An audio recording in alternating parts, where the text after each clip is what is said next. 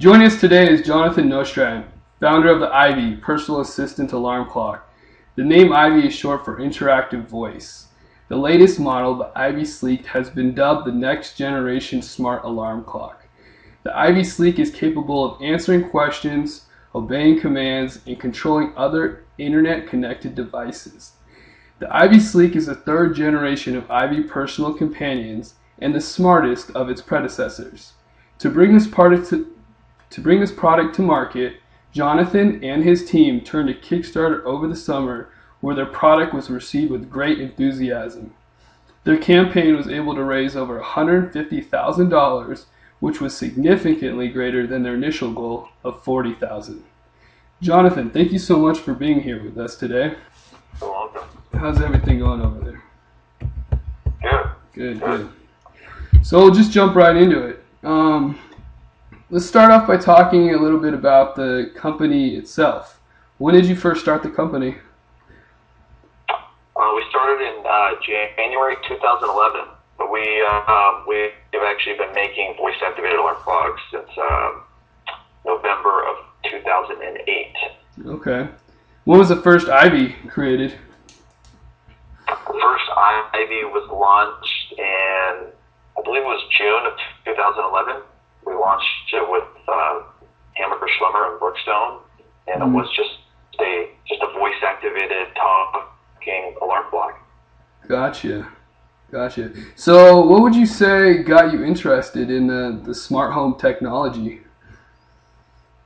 Well, I, I, our vision the whole time, even when we were just creating these voice activated clocks, was to take just the experience of talking to the device and having the device talk back to you to the next level.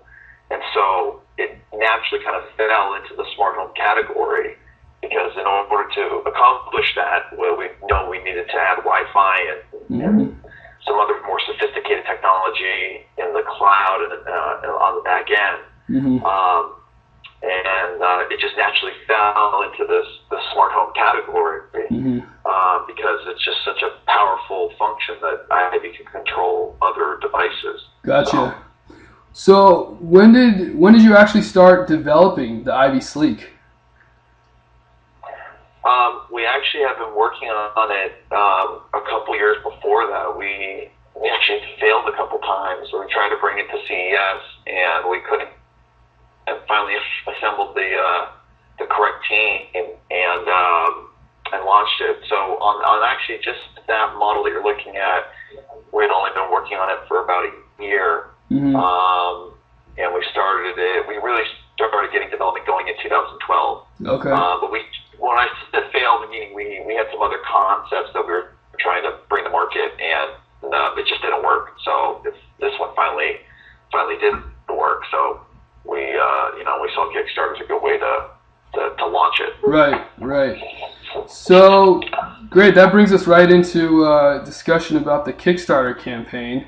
Um, I know you guys have developed and produced two other products in the past, and uh, so why did you decide to launch the Ivee Sleek through Kickstarter? Um, the reason was is, is, is Kickstarter is just such a, a powerful platform, and it's a great way to introduce new hardware Mhm. um, devices to the market. See it as a as a litmus test to see if this is if this item is really palatable for the the mass market. Mhm. Um, you know, and although Kickstarter still is an early adopter crowd, but it's still a great way to kind of get some traction. Um, you know, it's not that expensive to get a Kickstarter campaign going, and it, it's a great way to get some funding and some credibility and Mhm. get some get the word out there on the product. So So, saw all those an added value to to launching with it. Gotcha, gotcha. And uh, why why did you choose Kickstarter? I mean, there is some other platforms such as Indiegogo. Why did you guys uh, go towards Kickstarter? Um, I, I think, I think Kickstarter just has the most traction right now in terms of these platforms, hmm and um, I, I I think right now they're they're kind of leading the charge. So we we obviously wanted to position it with the uh, you know with the best if we can. Yeah, definitely. No, I completely agree. So, did you have any trouble with admission onto Kickstarter? I know they, they have a very um, strict guidelines. Did you have any issues with that? Um, yeah, there, we, we actually had to go through a few um, hurdles Mm-hmm. to, to, to really kind of get the product. They, they had a very um, they have a, a very strict um, guideline process, especially for hardware, they don't want to see any sort of photorealistic demo or, or renderings, or um, you know, they want to they want you to act, actually show where the product is currently at and, and how it's working. Okay. So um, we had to really make sure we abided by all those rules. Do you have any advice for uh, hardware crowdfunders that are interested in going to the hardware space? Do you have any advice on Yeah, I think. Yeah, I think um, it, you know very important to to really just be um, you know, real with where your your product currently is, but then also also make sure that you also kind of show the vision and be clear on on you know if something isn't working, explain what is not working and, and how it can work in such a way. Mhm. Um, and I think that's, you know, I, I think it's just the best policy is always to just, just be honest with where you're at and, and, um, Okay. and just try to uh, uh, deliver the best best experience on the, in the video. Gotcha. In regards to actually admission onto Kickstarter, is I mean, I know they want to see so they want to see an actual prototype. Is that correct? Yes. So no no 3D rendering. Um, they, they will let you uh, see 3D renderings, but if it's got to be like development renderings. Okay. So okay, so let's let's talk a little bit about the actual campaign itself and the whole process going into it. Um, I know planning for the campaign takes up quite a mu- quite a bit of time. How long did you take to plan it?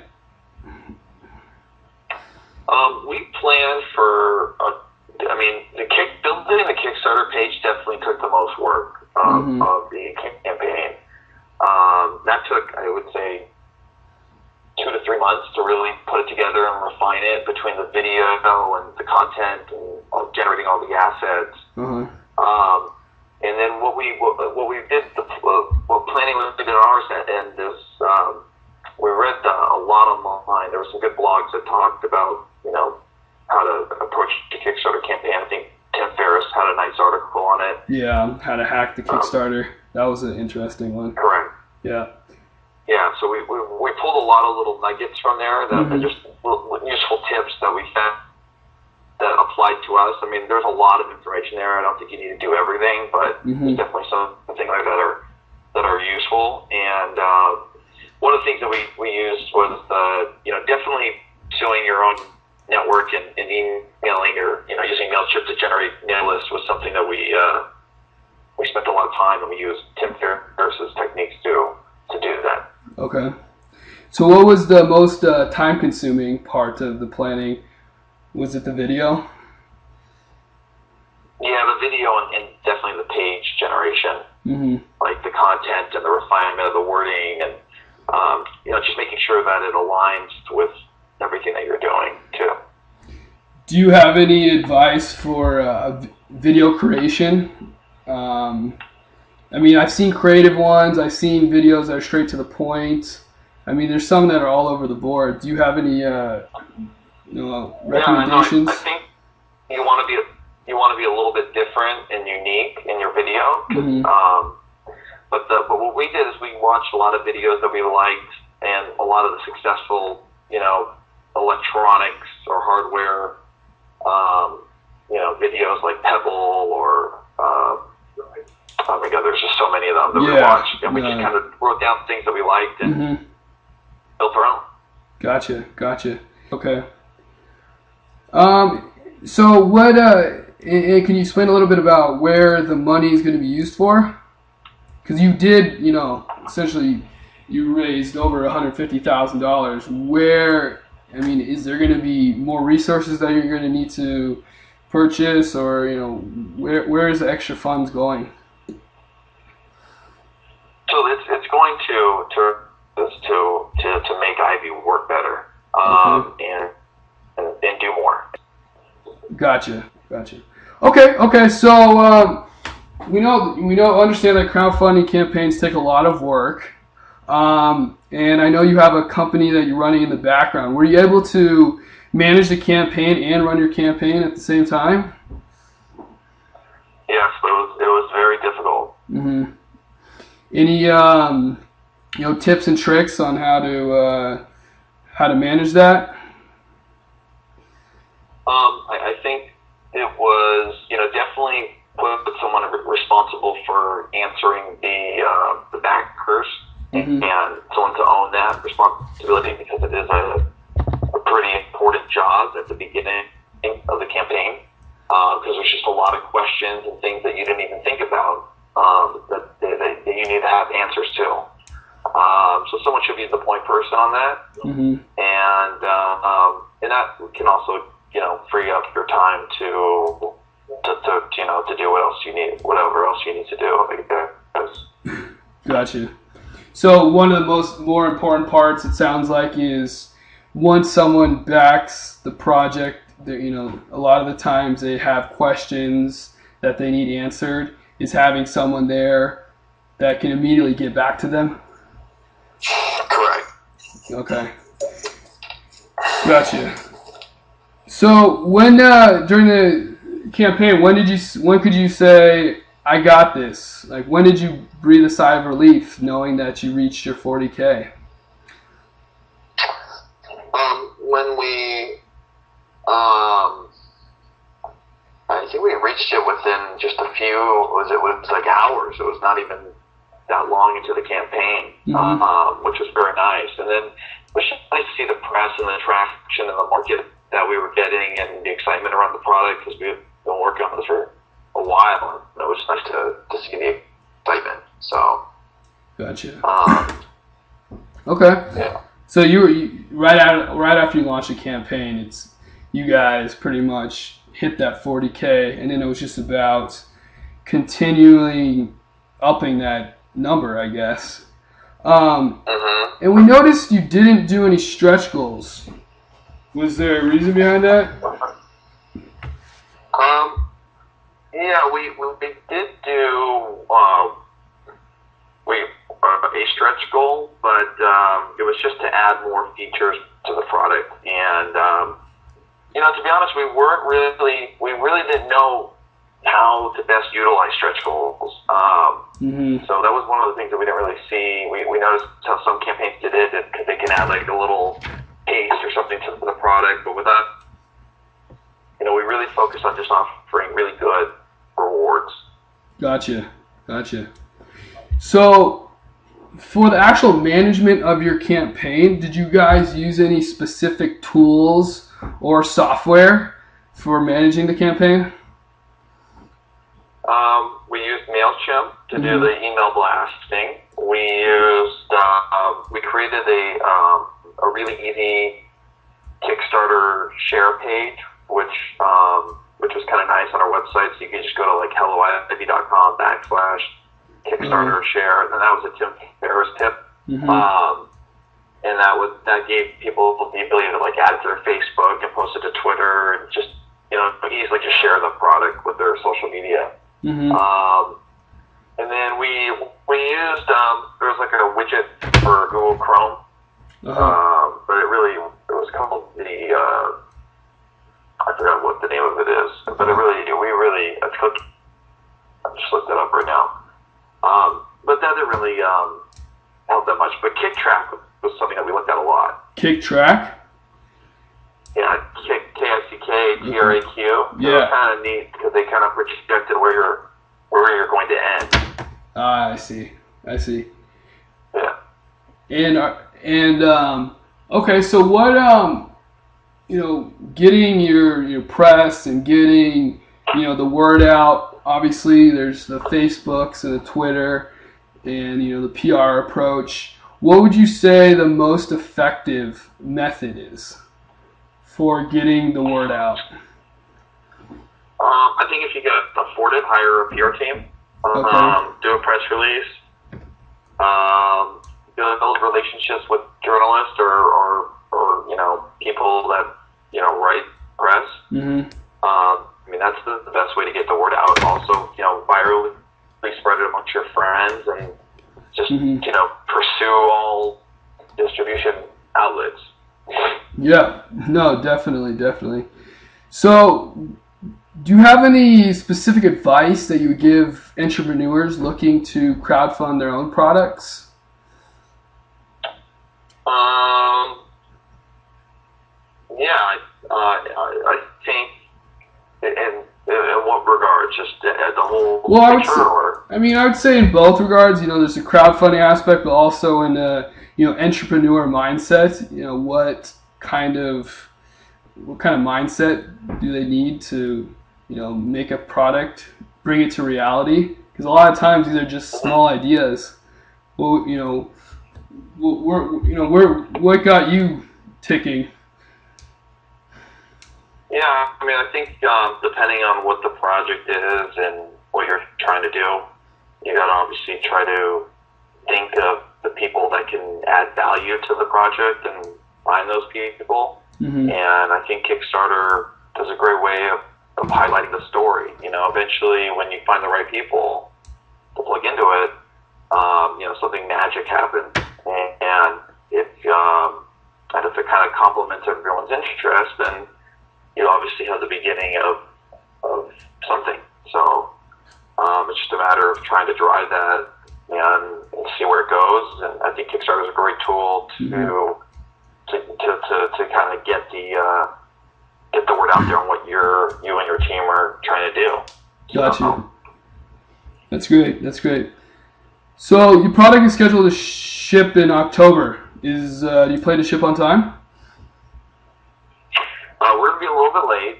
Uh, we made some hardware improvements to the product, so we uh, we upgraded the Wi-Fi module because the Wi-Fi was not working well. Uh-huh. Um, so now Ivee will have B, G, and N. hmm And so, because of that hardware change, it, it forced us to actually um, make some, some layout changes and cause some issues.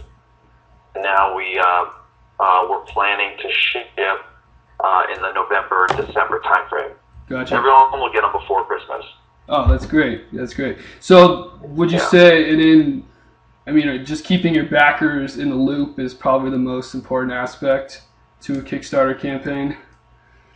Yeah, I think it's important to, to, to keep them updated as time goes on. At least send an update at least once a month or every couple weeks. Mhm. Um, you know, you want the updates to be to, to, to have some content and some meat in them. You don't want to just send an update to send one. Right. Um, so we try to send one at least every three to four weeks to kind of give an update on how we're progressing and and what's happening. And um, you know, people have been pretty receptive. They get excited. You know, Yeah. it, it makes them feel like they're a part of the journey. Yeah, that's that's awesome. So, Jonathon, do you what would you say was you know how would you best describe your crowdfunding experience? You know how how was it all in all? Um, it's definitely. It was, um, you know, it was a.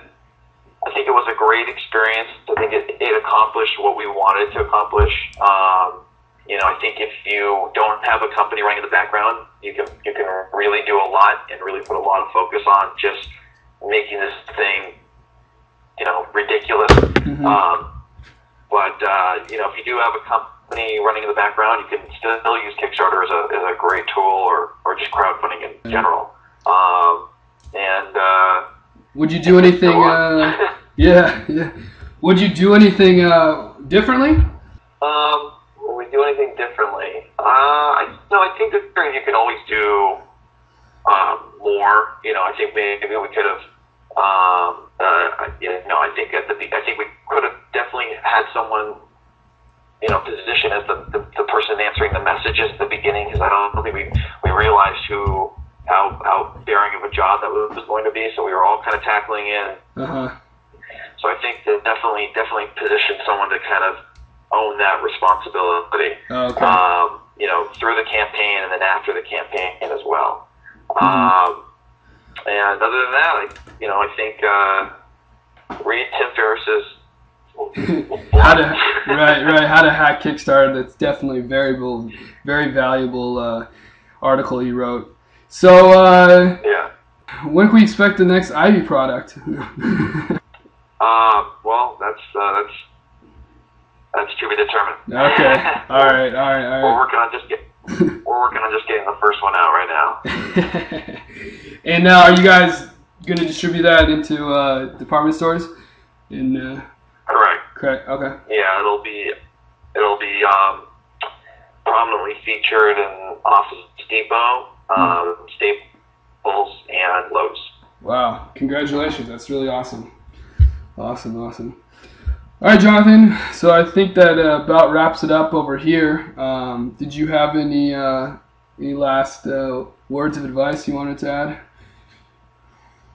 Um, just uh, I think it's a great tool, and and, and, and good luck. Gotcha. All right, Jonathon. So that- that's about it. Um, thanks for uh, taking some time today, and uh, really appreciate it. And uh, we'll hope to Thanks. hope to talk to you soon. Thanks for the call. Take All care. right. Take care, Jonathon. Bye bye. Bye bye.